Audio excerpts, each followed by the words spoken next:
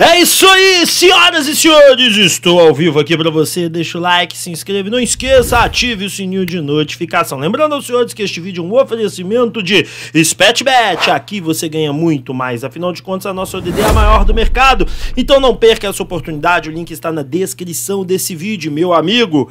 É uma oportunidade de ouro para você. Qualquer depósito na SpetBet você ganha mais 10% de bônus. E vamos de Bora Internet. Encontre sua internet sem complicação em www.borainternet.com.br. A Bora Internet é feita para você não perca essa oportunidade, meu amigo. Afinal de contas, se você digitar o seu CEP e o número da sua casa, vão aparecer para você todos os provedores de internet. Assim você vai escolher o melhor para você. Vai agora e vamos de Gerencianet, o banco digital do empreendedor. Afinal de contas, nós temos as melhores taxas e tarifas do mercado, ferramentas exclusivas de controle de gasto e uma rede ampla de desconto. Tudo isso ao seu serviço. E ó, você aí que emite muito boleto por mês para receber seus valores aí da sua empresa, ou você que é MEI, ou você que é pessoa física e tem que pagar a taxa de emissão? Chega! A Gerencianet não cobra taxa de emissão de boleto, isso mesmo que você escutou. Não cobramos. Se você emitir, exemplo, R$ 3,90 é o boleto. Se você emitir 100 por mês, quer dizer que você gasta 390 vezes 12 390 vezes 12, nós estamos de uma economia de 4.680 reais. Você vai jogar fora o seu dinheiro? Duvido. Então vem comigo e vem de Gerencianet. Galera, vamos falar de Galo. Tá na capa, tá na tela os temas de hoje. Vasco quer dois do Galo. Edenilson está chegando e Galo quer contratar. Quem que é esse cara aí? Bom, vamos falar sobre tudo isso para vocês. Senhoras e senhores, vamos começar sobre Edenilson e a informação que vem do meu amigo Thiago Fernandes e de Everton Guimarães é essa daqui. Pode escutar. O Atlético, depois você pode confirmar aí a questão do Edenilson, parece que voltou para a pauta, tá? Você pode é, confirmar Tem dois aí. clubes interessados, o é. Santos e o Red Bull Bragantino. Pois é. Então não é só o Galo, o Edenilson... Bom nome, hein? É, o Edenilson não vai ficar no Inter. Um time mais físico, com o Edenilson e Rodinei, trariam melhorariam consideravelmente. Ele pediu para sair lá porque ele se incomoda com críticas de torcida, associação o fato de que o time não vence títulos com ele. O Inter, o último título do Inter foi justamente na temporada anterior à chegada dele. Foi em 2016, o Inter foi campeão é, gaúcho e o Edenilson chega em 17 e desde então o Inter não venceu nenhum título. Então ele quer sair de lá. E aí tem esses três aí interessados: Atlético, Red Bull Bragantino e Santos. Ontem eu dei uma brocadinha gostosa demais na KTO. Mais uma, né? Porque eu tô, eu tô até com medo. Bom, tá aí a opinião, né, do Everton e do Thiago Fernandes. Bom, o que eu pude verificar lá no Sul, tô separando uma coisa que eu quero mostrar para vocês aqui. O que eu pude verificar lá no Sul é que o Eden, o Inter vai fazer jogo duro, como sempre.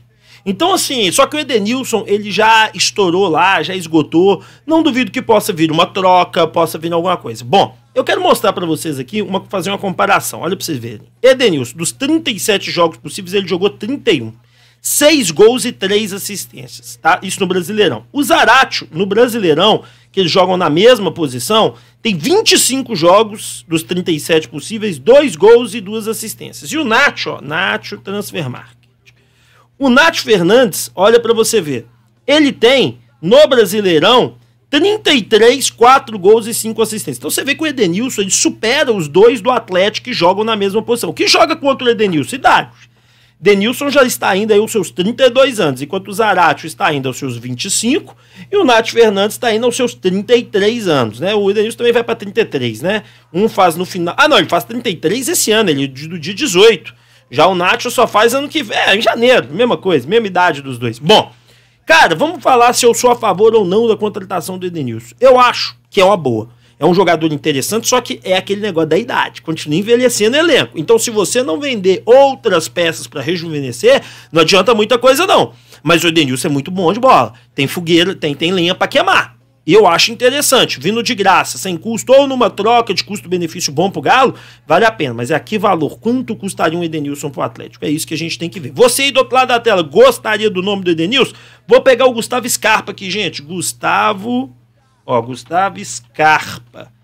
Transfermarkt. Vamos ver os números do Gustavo Scarpa se são muito superiores ao do Edenilson? Vamos ver aqui. Gustavo Scarpa, 34, 7 jogos assistência, ele broca, né? 12. Mas número de gols, mais ou menos. Igual, mas ó, esse é o grande lance da idade, né? Ele tá com 28, jogou 34 jogos, né? Então, assim, hum, o Edenilson não é todo ruim, não. É, dependendo de como que vier, preço, essas coisas todas, vale a pena. Bora pro próximo tema. Só de senhor, quero falar com você sobre Rafael.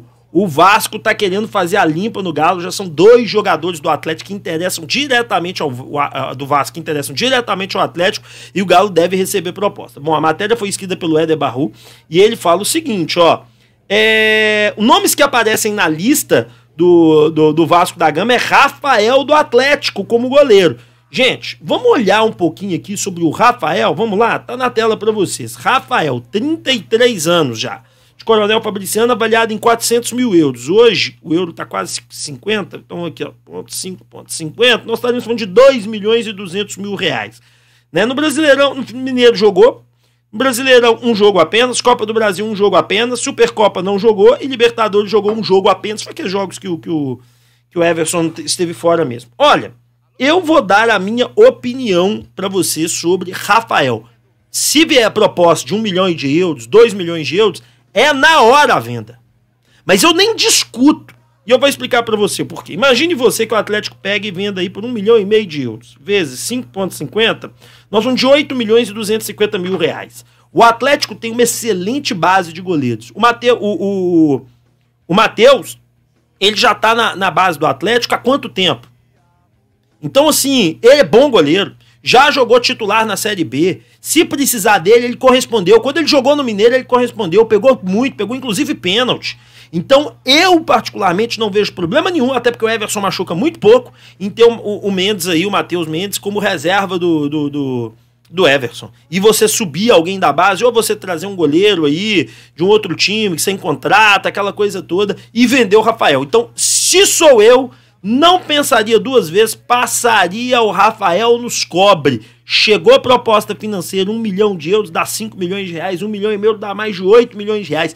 Nem cogitava conversa, agradeceria todos os serviços prestados, daria um grande abraço, um beijo e ficava por isso mesmo. Você do outro lado venderia o Rafael, gente, tem oportunidades que na minha, na minha cabeça a gente não perde. Porra, é, mas o Rafael é um grande goleiro, o Matheus Mendes também é, e é jovem, e é do Atlético, precisa se provar, a gente precisa fazer grana, cara. Grana é importante no mundo do futebol, oxigenar o elenco também. Então você até baixa a idade do elenco aí, o Rafael já tá mais velho, Matheus Mendes jovem. Enfim, eu faria isso, mas cada um tem um pensamento. Gostaria de saber de você, do outro lado da tela, o que, que você faria. Mas antes de eu passar pro próximo tema, eu quero falar da Marque-se.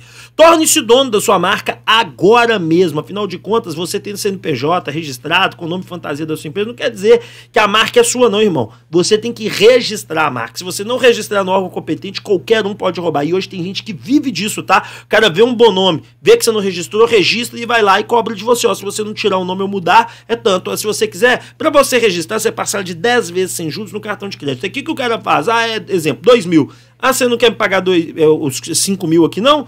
Então, beleza, não pode mudar o nome e você é obrigado a mudar. E se você não mudar, você é notificado judicialmente. Marque-se agora. Galera, vamos falar do Arthur. Afinal de contas, aí, o Arthur interessa ao Galo. Quem trouxe essa notícia em primeira mão aí foi meu amigo Luciano Clavers, lá no Identidade 13.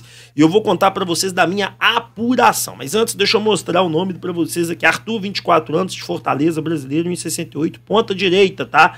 Avaliado hoje em 10 milhões de euros. Gente, isso hoje está dando mais ou menos 55 milhões de reais. Pela Série A, 33 jogos, 6 gols, 6 assistências. Copa do Brasil, jogou apenas um jogo. Na Libertadores, jogou três jogos e uma assistência. Tá bom? A carreira do Arthur é a seguinte. Começou no Ceará, foi pro Palmeiras, depois volta pro Palmeiras Sub-20, é emprestado pro Londrina, volta pro Palmeiras, é emprestado pro Bahia, volta pro Palmeiras e é comprado pelo Red Bull Bragantino do Palmeiras em 2020 por 6 milhões de euros. Na época ele tinha aí 22 anos para 21 anos. Olha, quem está interessado hoje, antes de eu falar do Atlético, quem já está interessado hoje no Arthur? Flamengo, Corinthians, São Paulo e Grêmio. Todas essas equipes estão interessadas no Arthur. Bom, conversei com uma pessoa dentro do Atlético. Olha, o Arthur ele pertence àquela lista de jogadores, tá certo? Que o Atlético monitora. Mas o Atlético entende como ser impossível a contratação do Arthur neste momento. A não ser que o Mecenas entre, né? O novo dono do Atlético entrar e jorrar dinheiro dentro do Atlético. Mas O Atlético entende que esse não é o tipo de contratação que seria feita, até por causa da idade, 24. Se você vai gastar 10 milhões de euros, você vai contratar um jogador de 18, 19 anos, destaque do campeonato argentino e tal, aquele cara diferenciado demais, né? Que já tá todo mundo de olho. Mas o Arthur, apesar de ser um bom nome, apesar de ser um cara diferenciado, é muito caro. Outra coisa que foi medido por essa mesma pessoa, que já está sabendo que o Red Bull não tem interesse de vender para o mercado nacional.